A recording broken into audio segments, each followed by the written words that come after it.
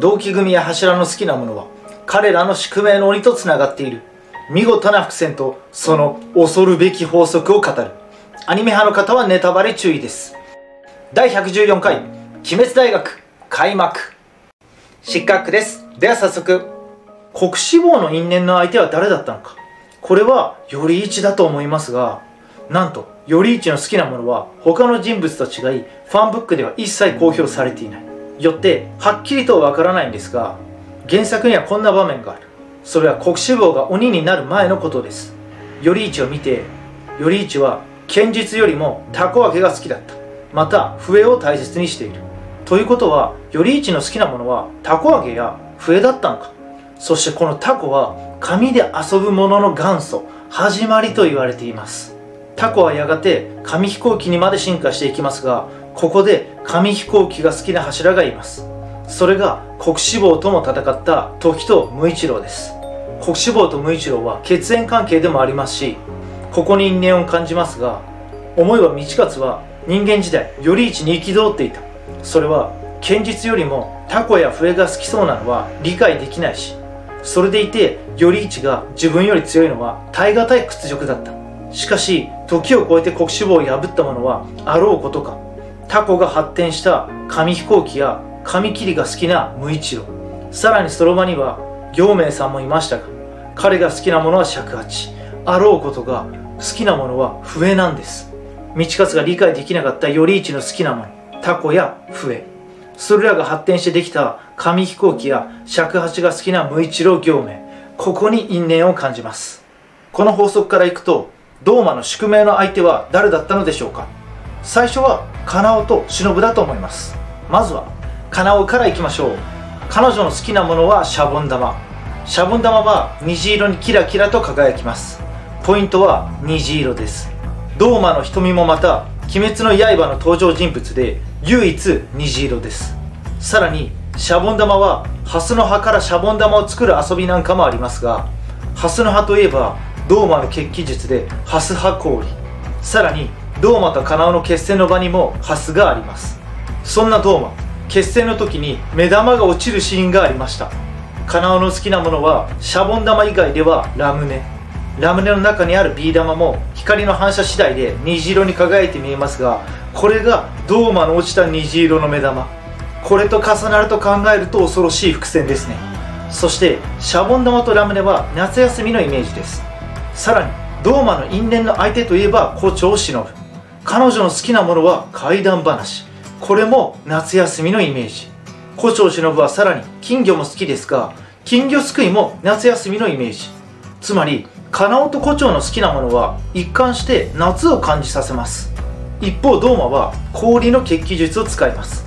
カナオ胡蝶対ドーマは夏と冬のような対比が見えます。ちなみに僕はドーマは2月冬がモデルなのではないかという動画も出しています。ドーマは女性だけを口にしますが2月は如月。女に口と書きます。さらに2月はお釈迦様が亡くなった月。故にドーマは神になり変わっているのではないか。忍とカナオが好きなものが夏を連想させるもので一貫しているので2月冬のドーマとの対比もいろいろと考えさせられます。ただここで待てよと。ドーマの因縁の相手は伊之助もいるよねと。ここでファンブックを見ると伊之助の好きなものはコトロコトロというわらべ遊び。そうあります。わらべ。ドーマ。伊之助らしくストレートにドーマを感じさせますがコトロコトロとは鬼ごっこです。伊之助の母はドーマに追いかけられた末に亡くなっています。この時に母は伊之助を抱えていました。ということは間接的に伊之助はドーマと命を懸けた鬼ごっこをしていたことになる。コトロコトロつまり鬼ごっことドーマの裏の因縁も怖いですね。そしてドーマについてカナオの好きなものシャボン玉からドーマとの関係を語りましたがシャボン玉というわらべ歌その歌詞はシャボン玉飛んだ屋根まで飛んだ。生まれてすぐに壊れて消えた。これはドーマのようだなと大人により神として利用された。シャボン玉のように屋根いやもっと高くまで持ち上げられ生まれてすぐにその人格は壊れた。そしてその子は無残により消されてドーマという鬼になってしまった。個人的にはシャボン玉の歌詞とドーマの人生は重なる部分もあり悲しい気持ちになります。続きまして炭治郎義勇について。宿命の相手はやはり鬼物寺無惨。炭治郎の好きなものはタラの目。これは特に大きいものは鬼タラと呼ばれていて無惨とのつながりを少しは感じるところですがさらにタラの目は山菜の王と言われています。2つの意味を合わせると鬼の王無惨らしくなってきましたがポイントは富岡義勇です。彼の好きなものは詰将棋。これは王手をかけ続けるということで通常の将棋のルールとは違うものですが王手というのに因縁を感じます。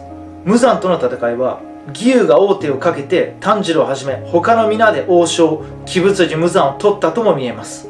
さらに義勇の因縁の相手は実は無惨ではなく鬼の王となった炭治郎だったとしたら義勇は炭治郎を殺さなければと思っていますが王手はかけるが炭治郎という王将は取らない。命は取らなかった。これが詰将棋が好きな義勇らしいですね。義勇の好きなもの詰将棋。王手をかける勝負において義勇の宿命の相手とは鬼の王の炭治郎だったのか。炭治郎とは一巻と最終巻で戦っているのも因縁を感じますね。ただ炭治郎と義勇は何度かぶつかる場面もありましたが最後には仲良しで終わってよかったなって心から思います。ちなみに義勇に加え最後の戦いを生き残ったもう一人の柱品津川さなみもいます。さなみの好きなものはカブトムシ。ファンブックにて無惨は意思疎通ができない昆虫のようなものとあえて昆虫と形容されていました。カブトムシは虫の王と言われているので無惨は虫の王とも言えるのかこれも考えさせられます。そしてここでサネミは無惨と絡めたから良いとして原野もいるよねと。原野の好きなことは盆栽植物を扱うことです。そして原野はハンテングとも戦いましたがハンテングは唯一植物に関連した血気術を使います。こちらに因縁があるのでしょうか。続いて煉獄さんの好物から因縁の相手を探していきますがその相手は間違いなく赤座でしょう。そして煉獄さんの好物はさつまいもの味噌汁。味噌汁は不老長寿の薬とも言われますがでも赤座と結びつけるには弱いかなと。そう思いました。というのも赤座だけじゃなく他の鬼もみんな不老長寿だからです。そもそもさつまいもの味噌汁。さつまいもは表面が赤で中が黄色。もろに煉獄さんの髪色です。誰かというよりは自分に向けての好物のように見えます。さらに煉獄さんの好きなものは歌舞伎。これも煉獄の赤き円筒がお前を骨まで焼き尽くすのシーンもあるように自分自身で歌舞伎の見え切りをしているようにも見えます。これも赤さというより自分に向いている。ここでこの法則は崩れるのか。そうも思ったんですがそもそも赤座には因縁の相手というのはいないんじゃないかと思いました。というのも赤座が白磁が最後に戦った相手は赤座という鬼自分そのものだった。そう考えると煉獄さんは赤座と戦う運命というよりは俺は俺の責務を全うする。あくまで俺は俺のなんです。よく考えたらこの言い回しって不思議で俺は責務を全うするでいいと思うんですけど俺は俺と自分は自分。君は君と。そう分けてるような言い回しだなって今思うと感じるんです。これは煉獄さん自身は赤座ではなく父や母の背中を見て学んだ己の責務と戦っている。だから赤座は赤座で自分と戦えと。そういうちょっと言葉遊びを伏線として入れていたのかななんて考えるのも楽しいですね。だとしたら煉獄さんそして赤座彼らには因縁の他者はいない。あくまで超えるべきは自分の運命。宿命の相手は自分自身だった。そういう意味でこの鉱物の法則性から後藤家先生があえて外したなら熱いなと個人的には思いました。そして同期組で全員にだけ触れてないので触れていくと彼は花札とすごろくが好きです。花札とすごろくといえば今は楽しい遊びですが昔はどちらも博打にもなっていました。そして絵画は博打が好きとファンブックにわざわざ書かれています。ここにも鉱物の因縁を少し感じます。今ではクリーンで子供も遊べる花札すごろく。昔はダーティーな大人の博打の花札すごろく。この好きなものの対比が善逸と改学のようで2人の因縁を感じます。まとめると無惨の最後は義勇の詰将棋の大手から国志望の最後は頼一にすがり笛だけが残った。切ったのはタコの発展先である紙飛行機が好きな無一郎。そして尺八。笛が好きな行明さん。ドーマの最後は虹色の目玉が落ちて首を切られた。まるでカナオが好きなラムネのビー玉のよう。そして赤座は他者の好物の関連はなかった。なぜなら自分を倒したのは自分自身だったから。こんな風なつながりも偶然かもしれませんが逆に狙ってなくてこうなったのなら説明がつかない因縁を感じます。話は以上となります。それではちょっとした幸せを提供できたでしょうか。次の動画でお会いしましょう。またね。